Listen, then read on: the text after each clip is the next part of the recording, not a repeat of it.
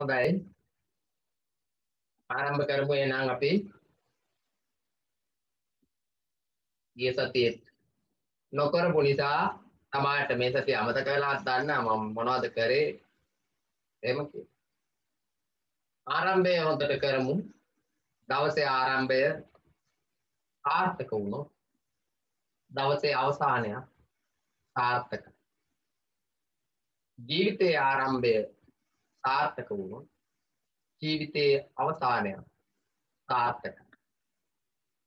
ජීවිතේ ජය ගන්නට නම් හොඳ ආරම්භයක් තියෙන්න ඕන. හොඳ අවසානයක් තියෙන්න. ඒ සඳහා හොඳ සැලසුමක් තියෙන්න. ඒ සැලසුම තමයි Tamanට වැදගත් වෙන්නේ. ඒ නිසා සැලසුම් සහගත වෙන්න.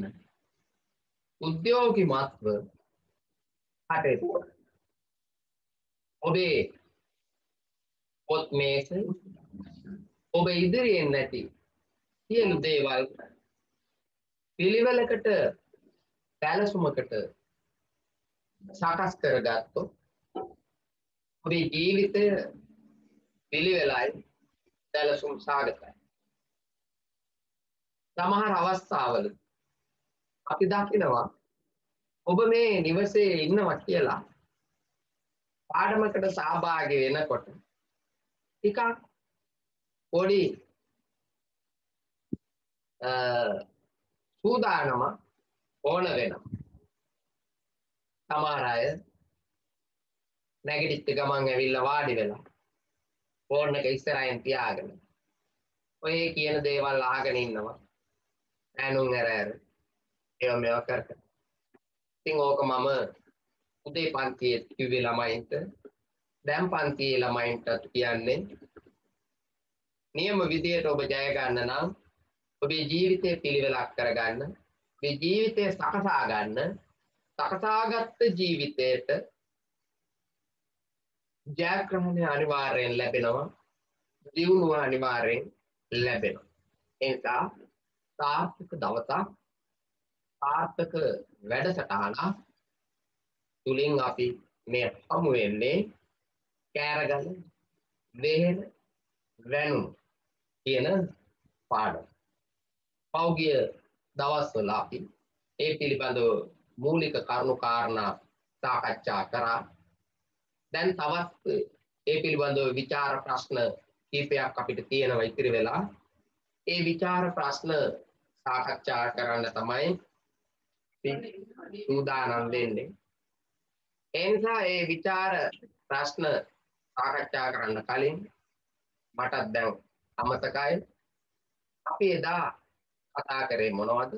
අද තියෙන්නේ කොතන ඉඳලාද?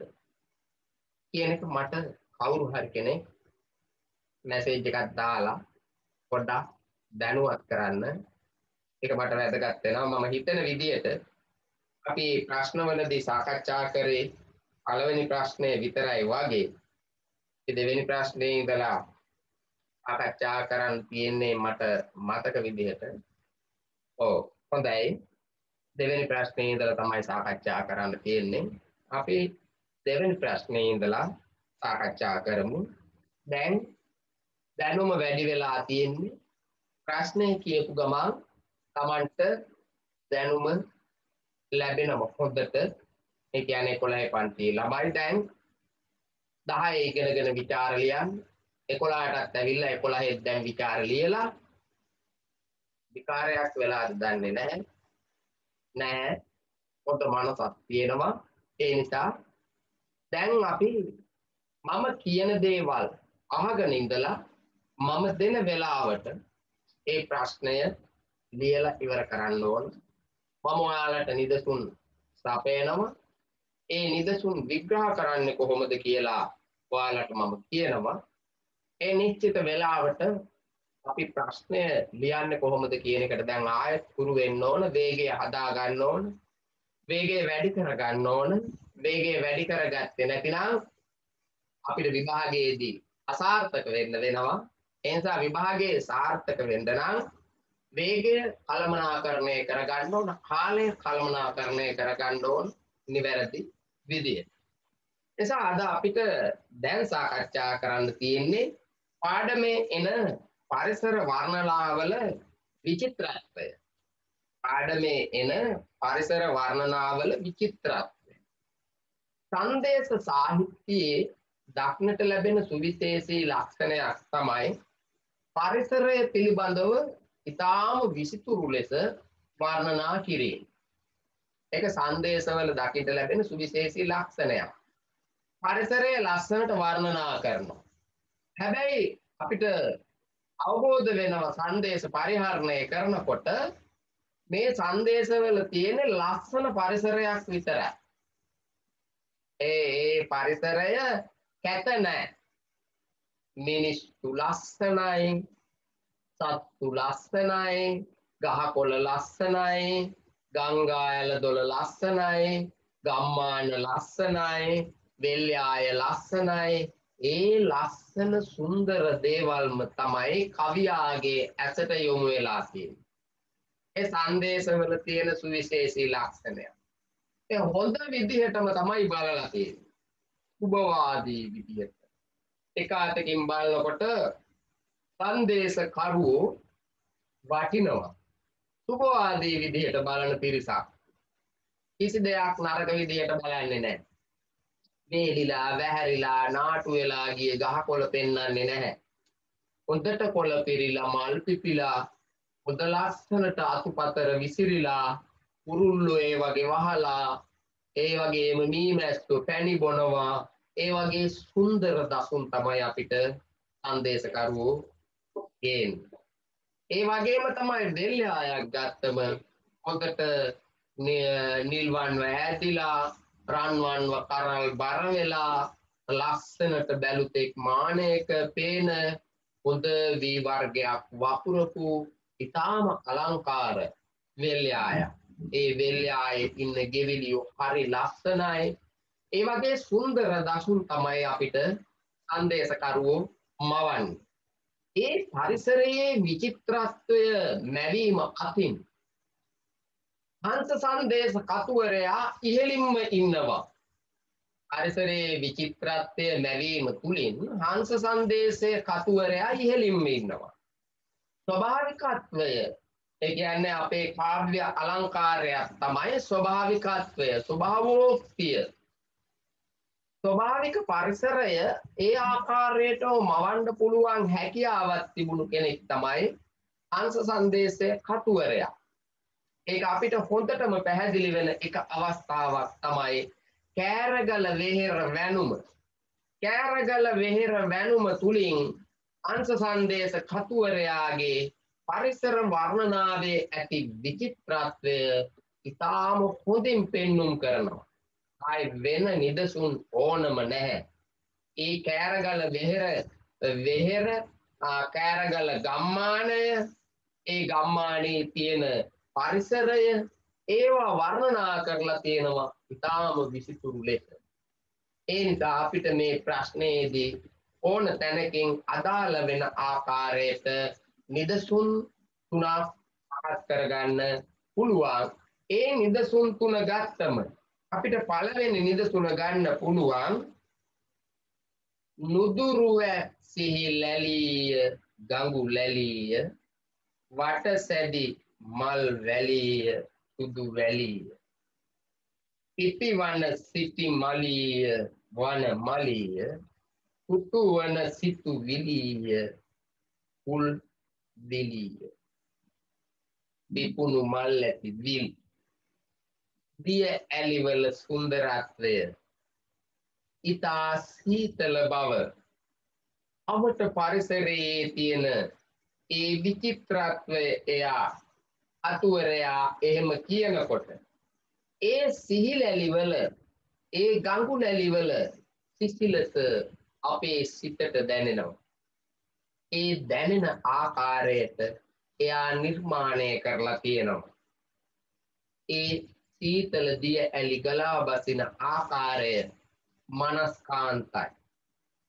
දර්ශනීයයි. සුන්දරයි.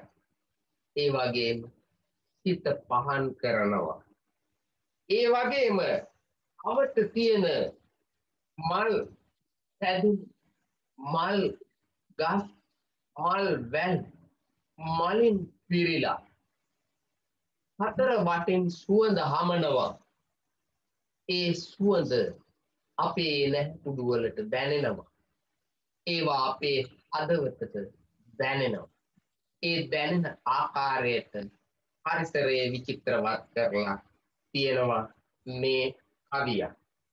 ඒ වගේම ඒ පිපිච්ච මල් සුදු වැලිතලා මත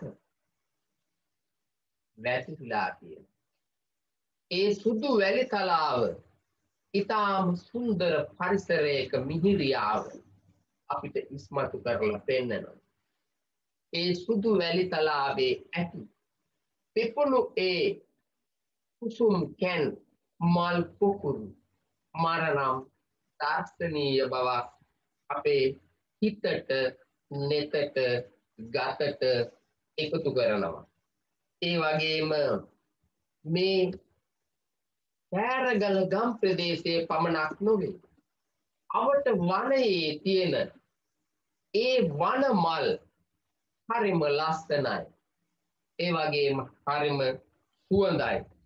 සිත් සතුටු වන අයුරින් නිර්මාණය කරලා තියෙන විල්වල මල් පිපිල බලන්න කොයි තරම් සුන්දර පරිසරයක්ද අපේ හිතට මවන්න මේ පරිසරයක් අපි දැක්කම අපේ නෙත කොයි තරම් සතුටු වෙනවද මේ කවියා මේ පරිසරය වර්ණනා කරලා තියෙන්නේ අපිට දැනෙන ආකාරය අපි දකින ආකාරය අතකින් දිය ඇලි ගලාගෙන බසිනවා. ඒ දිය ඇලිවලින් ගලා බසින දිය දහර සිසිලතා එකතු කරනවා. පාත් පස ඇති මල් පිපිලා පාට පාටෙන් බැබලෙන ඒ වගේම ඒ වගේ සුවඳ මුළු ප්‍රදේශය පුරාම විසිරිලා යනවා. ඒ වගේම විල්වල ඇති මල් හරිම සතුටින් විකසිත වෙලා තියෙන. ඒවා දකින අයගේ සිත ඉතාම විසිතුරු කරනවා. ඒ විතරක් නෙවෙයි. මේ සියල්ලම දරා සිටින සුදු වැලි තලාව දර්ශනීය දසුනක් මනරම් දසුනක් අපේ හිතට මවනවා. ඒක ඉතාම චමත්කාර ජනකයි. ඒ අනුව අපිට පැහැදිලි වෙනවා කෑරගල නැතිනම් හංස සංදේශයේ කවියා පන්ත කවියා මේ පරිසරය විචිත්‍රවත් ලෙස මවල තියෙනවා අපිට දැනෙන්න පෙනෙන්න මවල තියෙනවා ඒක කවියා සතුව තියෙන ප්‍රතිභාපූර්ණ කවිත්වයේ ලක්ෂණයක් ලෙස අපිට හඳුන්වන්න පුළුවන්. අන්න ඔය විදිහට තමයි ඕකේ විග්‍රහය ලියවෙන්න ඕන. මතකද දැන්? මේ දීලා තියෙන තේරුම හොඳ ලස්සනට ගලපලා අර මං කියපු විදිහට වචන දාලා ඒ මූලික හරය තියෙන විදිහට මේක ලියවෙන්න. ඒක තමයි පළවෙනි කවිය සහ පළවෙනි කවියට ලිවිය යුතු විග්‍රහය. හොඳට මතක තියාගන්න. මගෙන් දැන් ආයෙ මැසේජ් දීලා අහන්න එපා. අනේ අර කියපු එක තේරුනේ නෑ.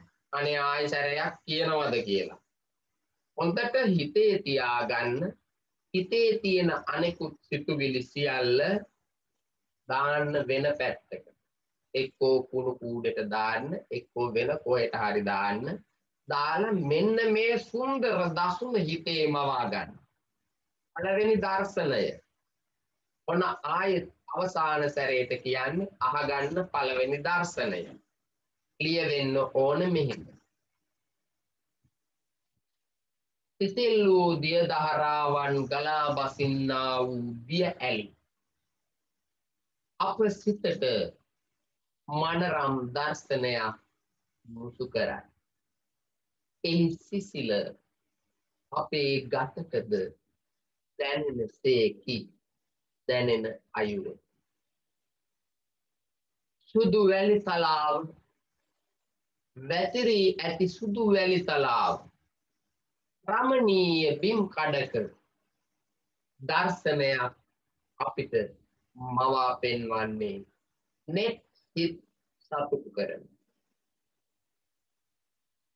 හාත් පස ඇති ගහකොළ වැල්වල පිපි ඇති මල්වල සුවඳ එහි වයිවරණ බව අපි කවුරු සතුටු කරන දර්ශනයක් බවට පත්ව තිබේ. දිය පිරුණු විල්වල මතුපිට ඇති මල් විකසත වී ඇත්තේ අප කාගේ සිත් තුළට සතුටා හුවඳා දැනවෙන අයුරෙන්. වටාවේ ඇති වනරොදින් පෙනෙන. තුරුලතාවන්ගේ මල් පොකුරු. තවත් මේ දර්ශනය විසිතුරු කරන්නට සමත් විය.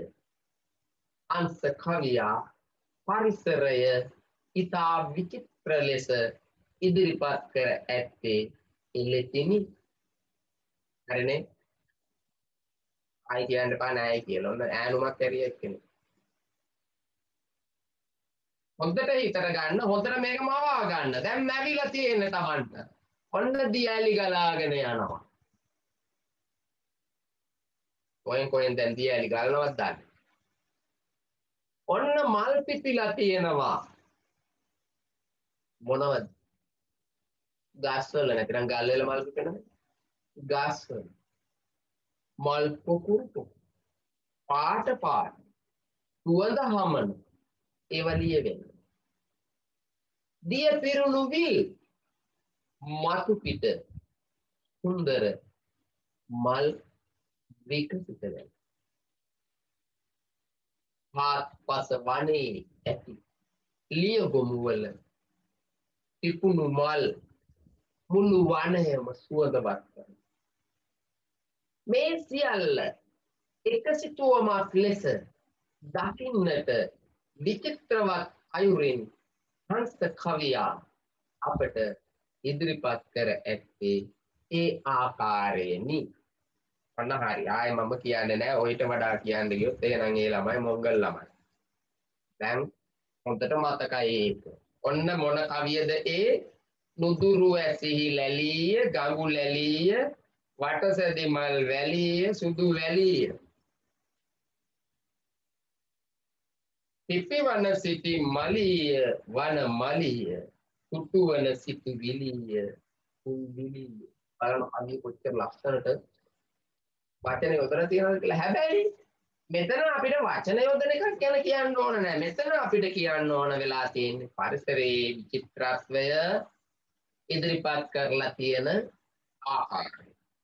ඊළඟට තවත් නිදසුනක් ගත්තොත් අපිට ගන්න පුළුවන් පවනද පිපිතුරේය නිරතුරේය කුසුමන් තෙතිතුරේය මළුතුරේය අවට සුපිපි තීරේය විගුස්තරේය සිත එවෙහෙර කෙරේය ලොබ කෙරේ තුළඟ ඇවිත් නිරන්තරයෙන් මල් පිපුණු ගස්වල මල් පෙති මළුවෙහි අතුරවා ආත්පසින් මල් පිපුණු විල්වල මීමැසි නාදය ඇසින් බලන්න කොච්චර ලස්සනද කියලා. පරිසරය පුරාවටම මල් පිපිලා. තුළඟක් කැවිල්ලා මේ මල් පෙති විසුරවලා බිමහලනවා.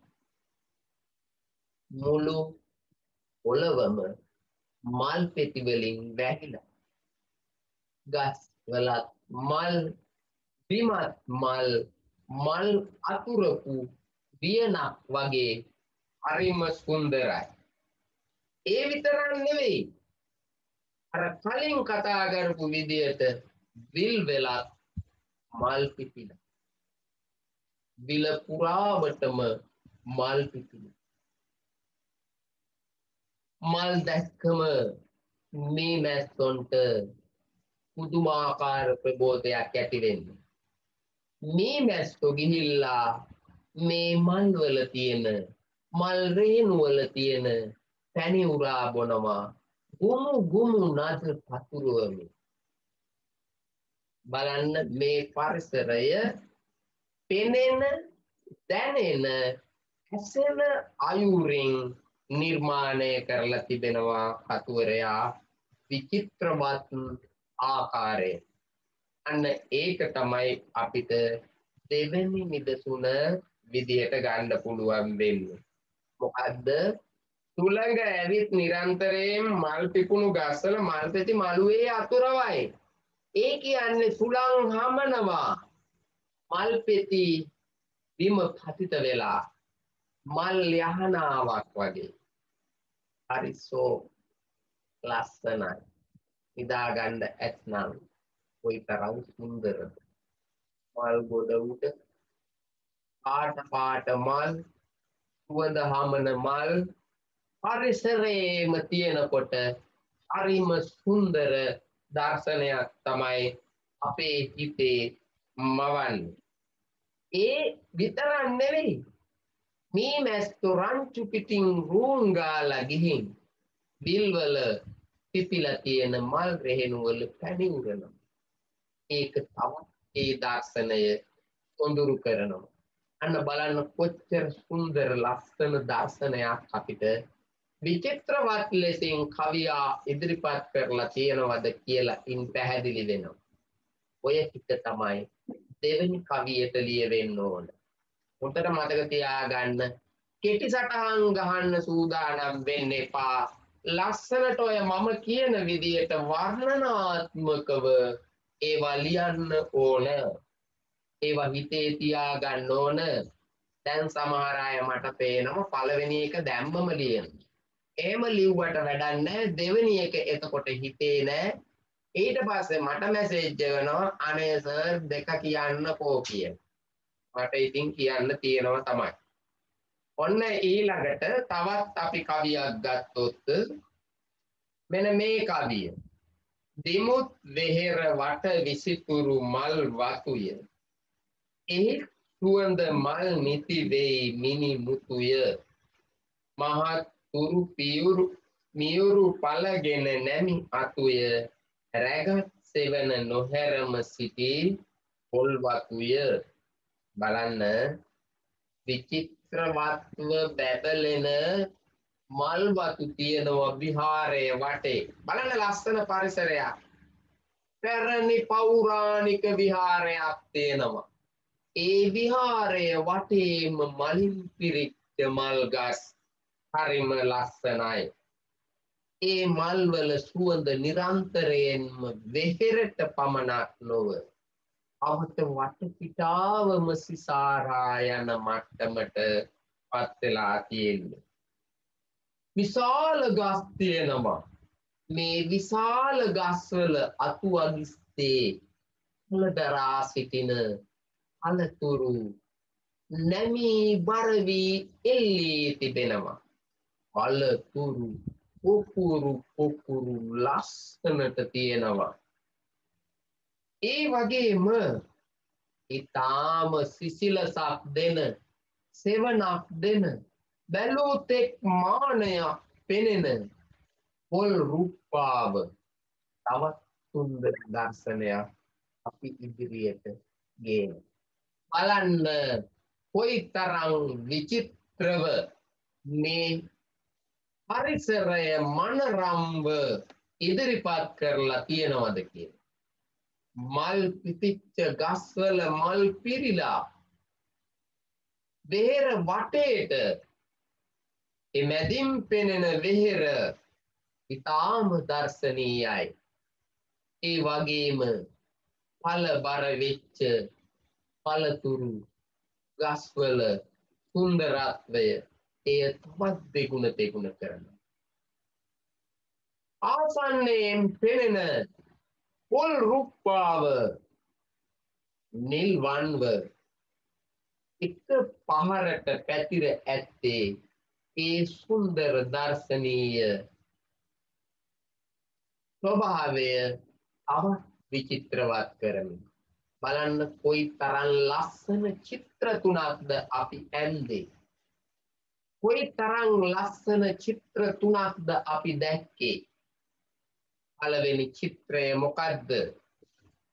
දිය ඇලි ගලාගෙන බසිනවා. මල් පිපිලා අවට පරිසරය. ඒ මල් පාට පාටයි. විවිධ සුවඳයි. ඒ විතරක් නෙවෙයි. සුදු වැලි තලාව. ඒ පරිසරයේ සුන්දරත්වය තවත් දෙගුණ තෙගුණ කරනවා.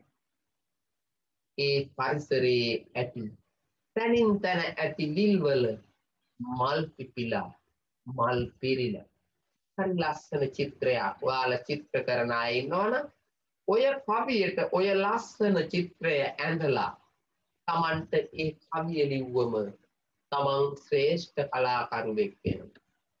දිය ඇලි ගලාගෙන යන අයු මල් පිපිලා තියෙන අයු තැනින් තැන විල් තියෙන අයු ඒ විල් වල මල් පිපිලා තියෙන අයු අන්න පළවෙනි සිතුවම විචිත්‍රවත්ව ඉදිරිපත් කරලා තියෙනවා. දෙවෙනි සිතුවම ඒටත් එහා ආත්පසින් එය තවත් දර්ශනීය බවක් පෙන්නුම් කරන. විහාරයක් පේනව අපිට ඒ විහාරය අවට ලස්සනට පිපුණු මල් තියෙනවා.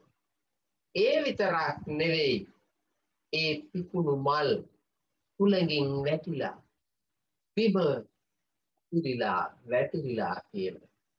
පාට පාට මල් තැනින් තැන බිම වැටරිලා තියෙන දර්ශනය කොයි තරන්නම් සුන්දර දර්ශනයක්.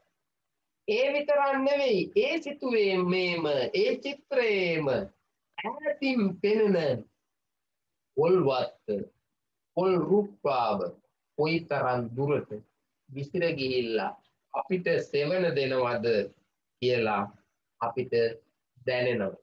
ඒ වගේ ලස්සනම ලස්සන සිතුවම් තුනක් ලස්සන චිත්‍ර තුනක් අපි ඉදිරියට කවියා ගෙනෙල්ලා පෙන්වන්නේ මේ පරිසරය වර්ණනා කරන්න පුළුවන් උපරිම ආකාරයෙන් වර්ණනා කරන. ඒ නිසා අනෙක් සංදේශ කරුවන්ට වඩා පරිසරයේ විචිත්‍රත්වය විසිතුරු ලෙස වර්ණනා කළ කවියෙක් ලෙස අපිට හංස කවියා අගය කර හැකි කියලා ලියන්න පුළුවන්. අන්න ඔය ප්‍රශ්නෙට ඔය ටික ලියවෙන්න ඕන. දැන් හොඳට මතකයි. ඔන්න එහෙනම් පටන් ගමු ලියන්න. ඔන්න දැන් ඇඹරෙනවා ලියන්න පටන් ගමු කියනකොට එහෙම බෑ. හොඳට උද්‍යෝගයෙන් පෑන ගන්න. පොත ගන්න. ඔය නිදසුන් ටික මම දෙනවා. ඒ නිදසුන් වලට අනුව ඔය මම කතා කරපු ඒවට අනුව පොතේ තියෙන තේරුමට අනුව අදාළ කවිවල විග්‍රහ කරමින් ඔය ප්‍රශ්නය ලියන්න ඕන නිදසුන් තුන නිසා විනාඩි විස්සකින්. විනාඩි විස්සකින්. විනාඩි විස්සකින් සම්පූර්ණයෙන්ම ලියන්න ඕන. හැඳින්වීම පළවෙනි කවිය ඒක විග්‍රහය දෙවැනි කවිය ඒක විග්‍රහය තුන්වෙනි කවිය ඒක විග්‍රහය. ඕක සාමාන්‍යයෙන් විනාඩි 20කින් සාමාන්‍ය CR පොතක නම් පැති දෙකක් ලියන්න පුළුවන් වුණොත් Tamanට ඒ ලකුණු 10න් අඩුම ගානේ අටක්වත් ලබා ගන්න පුළුවන්. එහෙම බැරි වුණොත් ලකුණු 4යි 5යි ලැබෙන්නේ. හොඳයි දැන් එහෙනම් ආරම්භ කරන්න දෙවෙනි ප්‍රශ්නය. ආඩමේ එන පරිසර වර්ණනාවල විචිත්‍රත්වය අගය කිරීමේ නිදසුන් ඔන්න මම දැන් දානවා. පළවෙනි නිදසුන නුදරව සිහිලලීය ගඟු ලැලීය දෙක පවනද පිපිතුරේ නිරතුරේය දිමුත් වෙහෙර වටවිහිතුරු මල් බතුය කියන ඒ කවි තුනේ එන පරිසරයේ විචිත්‍රත්වය. අර මං කියපු දේවල් අනුව වේගයෙන් ලියන්න හැඳින්වීම ලියලා එදා අපි හැඳින්වීම ලිව්වා. ඒ හැඳින්වීම ගන්න මෙතනට ඒකේ අවසානයේ විතරක් ප්‍රශ්නය වෙනස් කරන්න. ටක් ගාලා දැන් පටන් ගන්න. විනාඩි 20යි ප්‍රශ්නයට දෙන්න.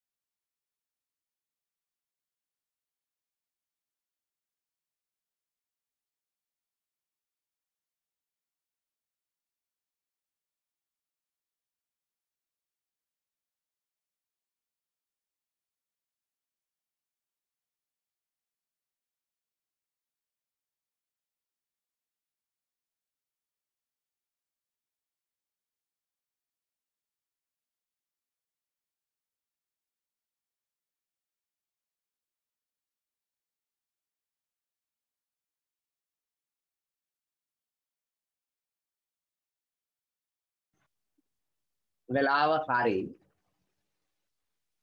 දැන් මට කියන්න බලන්න සම්පූර්ණයෙන්ම මේ වෙනකොට නිදසුන් තුනම කවි තුනම ලියලා ඒ කවි තුන විග්‍රහ තුනත් ලියපු හැඳින්වීමත් ලියපු අය කවුද කියලා මැසේජ් එකක් දාන්න බලන්න මට. ගිත්මි හරි. ලියලා ගිත්මි ලියලා. මට එතන බාලිකාවේ ගිත්මි වෙන්නේ නැති. අකා ඕ බෙලියත් ගිත්මි ආරමිත් හරි. තේසදී ලියලා උදුලි ලියලා තෙලිමි ලියලා. අරුසි දෙකයි ලියලා තියෙන්නේ. මමත් ඉවරයි සර් ආදිත්‍යයා කවුමිනී ලියලා ආකාසිත් ලියලා මදුරංගත් ලියලා හොඳයි. හිමේ දමකෝ ප්‍රමාද. දක්ෂි ඉවරයි මාවැල්ලි දක්ෂි. නවෝද්‍යයත් හරි. සන්දිති දෙකයි මොකෝ සන්දිති? ඉරුසිත් දෙකයි එජාන් ඉවරයි මෙත්මී හරි හොඳයි. චමුඩු තාම නැත්තෙ මොකෝ? කවිඳි ඉවරයි.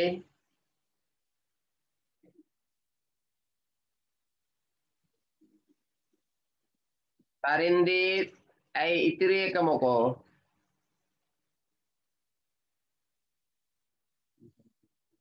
වියඟ බියඳු මතේස හරි හොඳයි ඉවරයි. අකිල ප්‍රියසානා ඉන්නවා. කපුමාත්‍ය ඉවරයි නේද? හොඳයි. නෙත්මි ඉවරයි. යසින්දු ඉවරයි.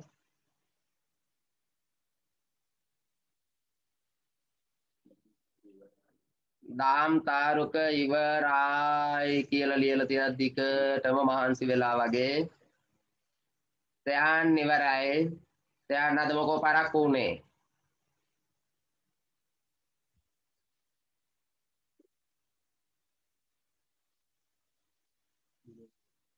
මිනුල ඉවරයි හොඳයි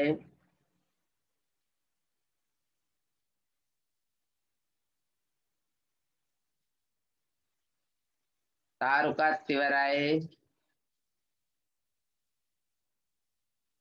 ජාත්මී ඉවරයි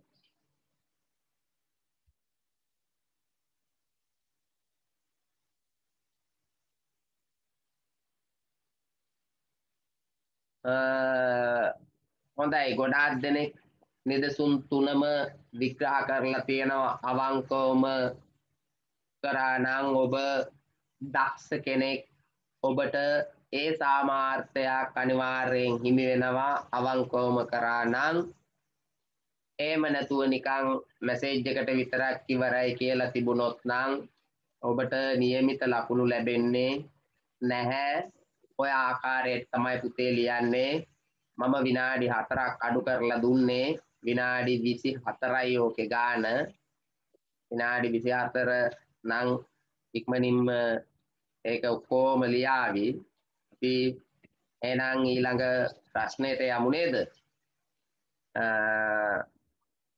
මොකෝ විවේකයක් ඕනද? විවේකයක් ඕනද? ඕක පුතේ සාමාන්‍යයෙන් අපිට ලියන්න වෙනවා අවම වශයෙන් පැති දෙකක් කිට්ටු වෙන්නවත්. CR කොලයක සාරුසි කියනා විවේකයක් එපා කියලා. ආරමිත් එපා කියනවා. මාලිත් නම් ඔව් කියලා තියෙනවා. දාම්මේ නම් අම්මට කියන්න බිස්කට් මෙතේ එකක් හදන්න කියලා.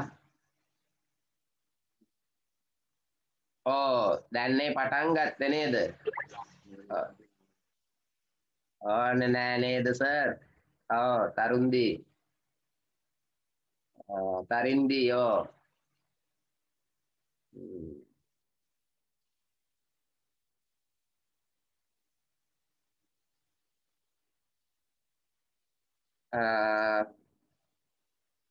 එහෙනම්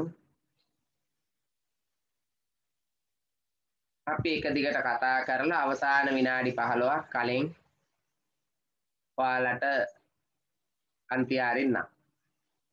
ඔව් එක දිගට පොඩ්ඩක් එනයි යන් විනාඩි 45ක් විතර තව කරමු.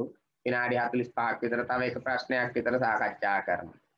කරලා අවසාන විනාඩි 15 වගේ මම ඔයාලට පන්තිය නවත්තන්න.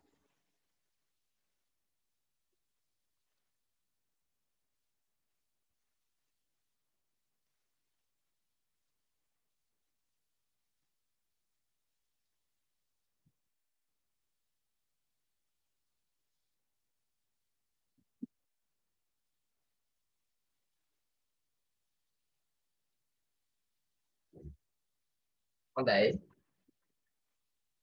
ඊළඟ ප්‍රශ්නය අපි සාකච්ඡා කරමු. වෙලාව යනවා සෑහෙන්න කාලය යනවා සෑහෙන්න. කාලය කියන්නේ ඉතාම වටිනවා. ඒ නිසා වේගවත් වෙන්න ඕන අපි. ඊළඟට තුන්වෙනි ප්‍රශ්නය. අංශයා දකින චමත්කාර ජනක ගම්පියසේ අසිරිය. ඒක හරි ලේසි ප්‍රශ්නයක්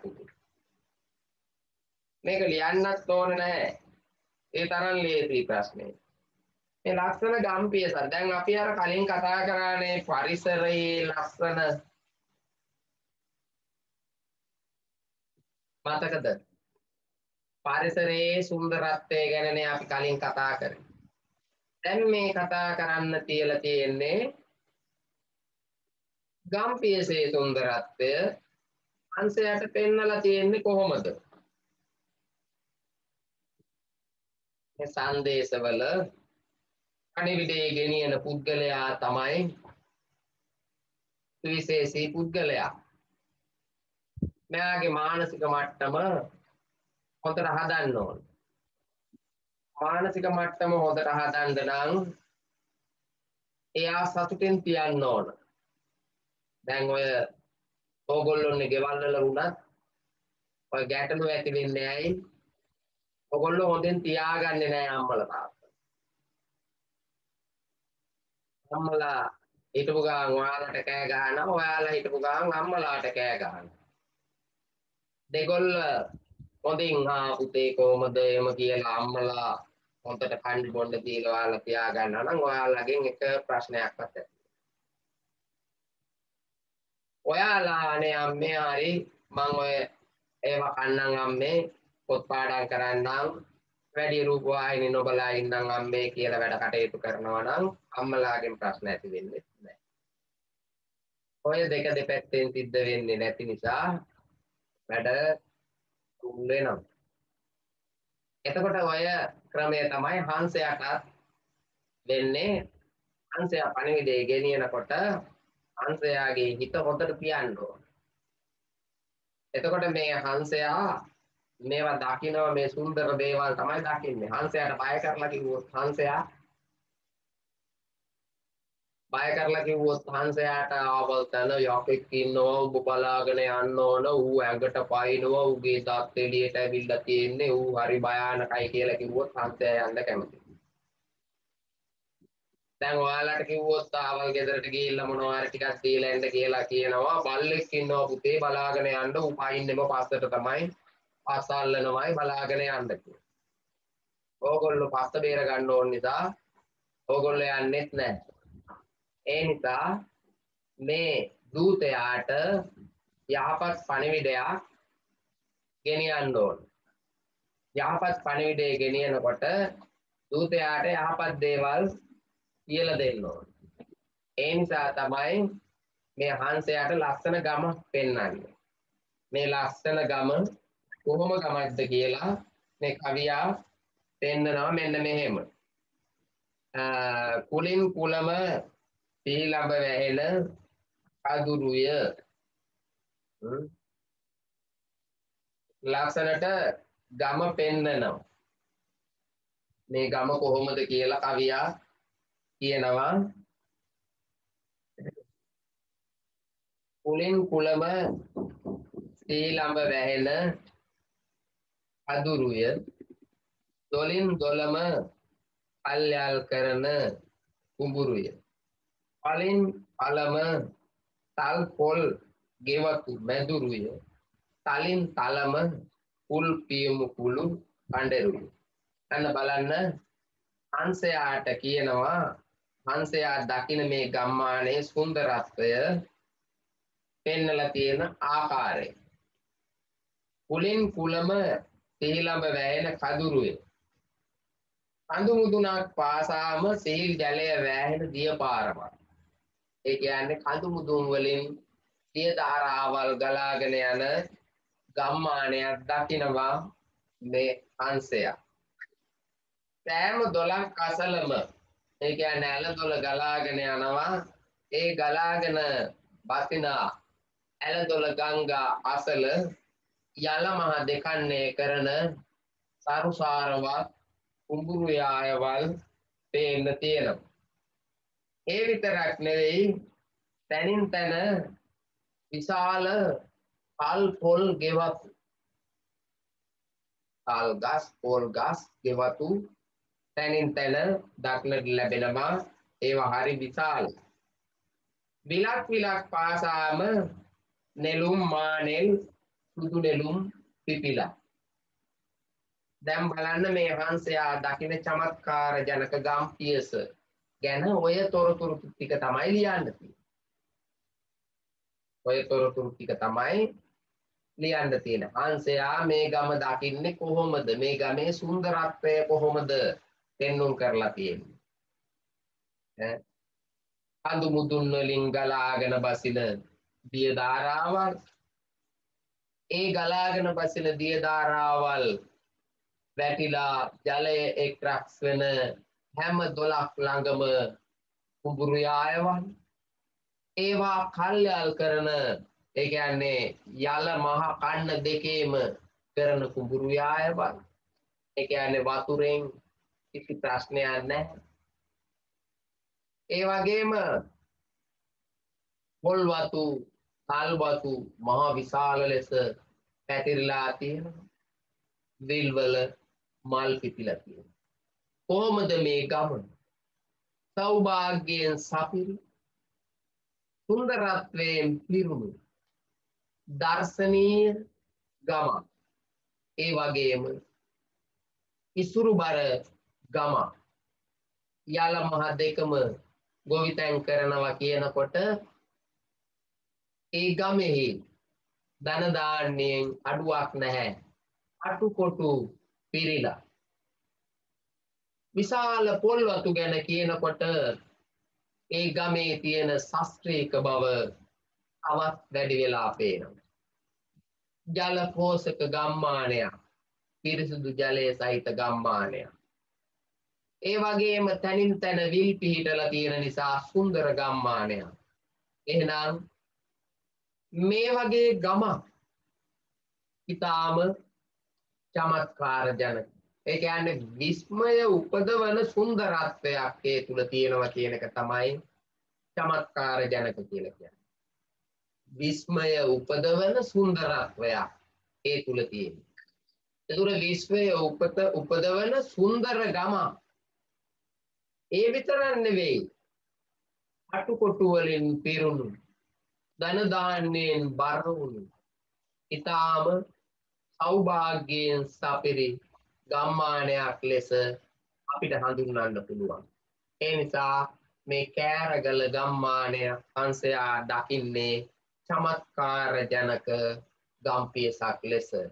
මේක ආශ්චර්යමත් දෙයක්. ඔයාලට දැන් නම් හිතා ගන්නවත් බෑ මෙහෙම ගම්මාන. ඇලදොල ගංගා ගලා වසින ගම්මාන හිතා ගන්නවත් බෑ. දැන් ඒවා විනාශ වෙලා ඒ ඇලදොල ගංගාවල් ගලා බැස්ස ගම්මාන ඉස්සර පුදුමාකාර සුන්දරත්වයක්. ගම්මාන මැදින් ගලාගෙන යනවා ඇලදොල ගන්න. ගමේ කොල්ල කුරුට්ටෝ කෙල්ලෝ ඔක්කොම එකතු වෙලා දවල්ට යනව මේවයි නාන්න. කියල්ල දියබුන් ගානව කරණං ගානව පීනනම නානව. පරි සතුටෙන් ඉන්න ගම්මානවල ඉස්සරතිද අදටත් සමහර ප්‍රදේශවල මේවා තියෙනවා. තියෑලි ගලාගෙන බහිනව ගම්මාන මැතින් ඒ දිය දහරාවල් ගම්මාන මැතින් ගලාගෙනය කුඹුරු යායවල් හරීම සිරියාවන්තයි. ඉතාම සස්ත්‍රීකවත්ව සරුසාරවත්ව අස්නැන්න නෙලන කුඹුරු යායවල්ති මේ ගම්මානේ චමත්කාර ජනක බව අස්ත්‍රිමත් ආකාරයකට මේ හංස කවියා දකිනවා. ඒක හන්සයට කියනවා මෙන්න මෙහෙම දේවල් දකිින්ට ලැබෙනවා කිය එතකුට ඒවා බලන්න හරි කැමත්තත් දක්කනවා හන්සය ඒ නිසා තමන්ගේ පණිවිඩය අරගෙන තමන් යන්න උත්සාහ කරන අන්න ඒක තමයි මේදී සඳහම් වෙන්න ඕන කරුණු කාරණා ටික. මේ පළවෙනි කවිය කුලින් කුලම සීලඹ වැහෙන කදුරුවේ කියන කවියට ලියවෙන්න ඕන ඔය ටික තමයි. මම අර කලින් කිව්වා වගේ ඔය අවසාන ප්‍රශ්නේ නිදසුන් තුනේ ප්‍රශ්නේ ලියන්න උත්සාහ කරන්න ඕන පැති දෙකක්වත්. පැති දෙකක්වත් ලියන්න උත්සාහ කරන්න ඕන. චුට්ට චුට්ට කෙටියෙන් සාරාංශ කරලා බෑ. අවම වශයෙන් පැති දෙකක්වත් තියෙන්න ඕන. හැඳින්වීමයි නිදසුන් තුනයි.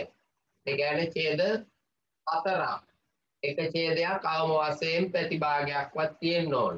ඕක විනාඩි 24 ප්‍රශ්නයක්. ඊළඟට අපිට තියෙනවා තවත් ඒ වගේ චමත්කාර ජනක ගම්මානයක් පෙන්눔 කරන කවියක් තමයි නොයෙක් තැනම පිපි මල් පිරුණු කොකුණුය. අර අර පරිසරය ගැන කිව්වා වගේම මේ ගම්මානයේ තියෙන සුන්දරත්වය. දැන් අපි කලින් කතා කරේ සමස්ත පරිසරයනේ. මේකෙදි මේ ගම්මානයේ සුන්දරත්වය. නොයෙක් තැනම පිපි මල් පිරුණු පොකුණුය. ගමේ තැනින් තැන පොකුණු තියෙනවා. දැනුත් ඔයාලගේ ගෙවල් වල තියෙනවා පොකුණු. පොකුණක් තියෙනවා කියන්නේ හරි ලස්සනයි. හැබැයි ඉස්සර ස්වභාවික පොකුණු තිබුණා. දැන් නම් හදාගත්ත පොකුණු තියෙනවා. කොහොම හරි එහෙම පොකුණක් තියෙනවා නම් හරි ලස්සනයි. ඒ පොකුණේ මල් පිපිලා මොනවද? ඩේලියාස් බාබන්ඩේසියා රෝස ඒවද? නැහැ. නෙළුම් මහනෙල් මල් සුදු නෙළුම් රතු නෙළුම් නිල් මානෙල් සුදු මානෙල් ඒ වගේ ලස්සනට මල් පිපිලා. හරි ලස්සන ගම්මානයක්. ඒ වගේම හැම ගෙයකම මේ හරි සර්ධාවක් තියෙනවා. ඒ කියන්නේ ගෙයක් ගත්තම ඒ ගේ පරිසරය හරි සුන්දරයි. ඒ ගේ හරි නිස්කලංකයි. ඒ ගේ හරි නිසලයි. මහා ගෝතාකාරී බවක් නෑ. ආටෝප නෑ. ඒ පුංචි ගේ වුණත් හරි ලස්සනට තියෙනවා. හරිම නිස්කලංකයි. ලස්සනට මිදුලේ මල් වවලා පිළිවෙලට හැම දෙයක්ම තියාගෙන එහෙම තියෙනවා. එතකොට ඒක ඒ ඒ දානමානාදිය දෙමින් ඒ ගෙදර ඉන්න අයත් ඒ කටයුතු නිසියාකාරව කරනවා. බලන්න කොච්චර ලස්සනද මේ ගම්මානය කියලා. හරිම ලස්සනයි. ඒ වගේම ඒ ගම්මානයේ තිබෙන පාරවල් හරිම ලස්සනයි. වැට දෙපැත්ත සුද්ධ කරලා සමහර ගෙවල් ඉදිරියෙන් පාර අයනේ මල් වවලා. හැම පාරකම ඒමයි. හරි ලස්සනයි නේද? ඇයි අපි දැන් ඒවා කරන්නේ නැත්තේ? අපේ ගෙදර ඉස්සරහ පාරට අයිති කොටස අපි හොඳට සුද්ධ පවිත්‍ර කරලා මල් ගහක් වවලා මලක් පිපෙන විදියට හැදුවා නම් ඒ මල නෙලලා බුදුන්ට පුදනකොට අපේ හිතට කොයි තරම් සුවයක් දැනෙනවද පාරේ යන කෙනෙකුට ඒ පිපිච්ච මල් දකිනකොට කොච්චර සුන්දරත්වයක් හිතට දැනෙනවා. ඒ සුවඳ නෑයට දැනෙනකොට ඔවුන් තුළ ඇතිවන්නේ අපූර්ව හැඟීම. හැම පාරක්ම මේ ගම්මානයේ මෙහෙම. අපි දැන් ඒව කරන්නේ නෑ ඕව රජයෙන් කරන්න පැයි ඕව රජයට අයිති කොටස්නේ කියලා අපි ඉන්නවා. අපි හරි ආත්මාර්ථකාමී. අපි කැමති නෑ ඒ වගේ සුන්දරව අනිත් අයට සුන්දර දසුන් පෙන්වන්න. ඒවා එහෙම වුණා නම් හැම ගමකම ඒ පාර දෙපැත්තේ දිගටම ඒ විදිහට සුද්ධ පවිත්‍ර කරලා මල් හිටවල මල් පිපිලා තියෙනවා නම් ඒ පාර ඒ ගමේ පාරමල් ටික කොච්චර ලස්සනද. ගම එහෙම වුණාම රටත් එහෙම වෙනවා. මුළු රටේම මග දෙපස මිනිස්සු ඒ විදිහ කරා නම් රට කොච්චර සුන්දරද.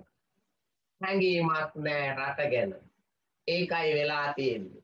ඒ නිසා පුතේ ඔයාලා හරි ඔයාලගේ ගෙවල් ඉස්සරහා සුද්ධ පවිත්‍ර කරලා ඔය මලක් සුලභව පිපෙන ඔය වත සුදු ගහ ඔය වගේ පඳුරක් හිටවල දාපුම ඒවාය මල් පිපිලා හරිම ලස්සනයි. ඒවා මිනිස්සුන්ටත් ප්‍රියයි.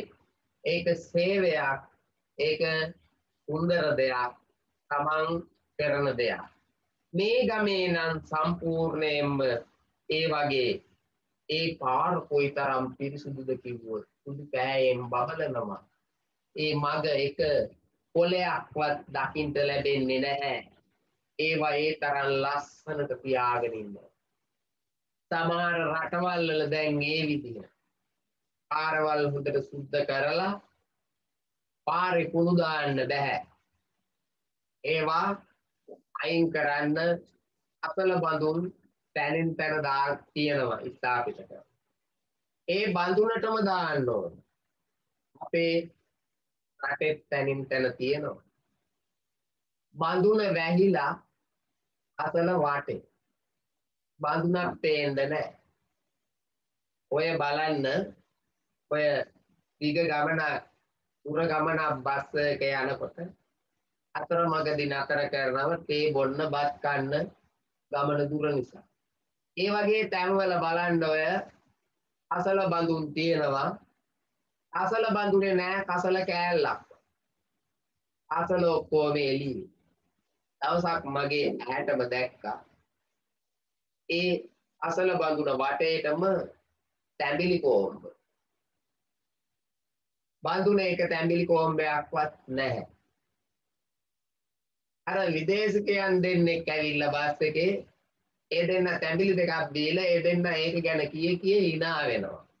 ඒ දෙන්න නම් දැම්මා බඳුනට.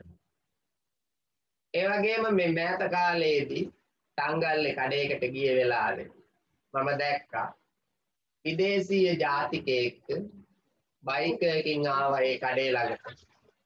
ඒ කඩේ මුදලාලිත් එක්ක මම කතා කර කර ඉන්නකොට ඒ බයික් එක පිටිපස්සෙන් තැඹිලි කෝම්බයක් තිබුණා.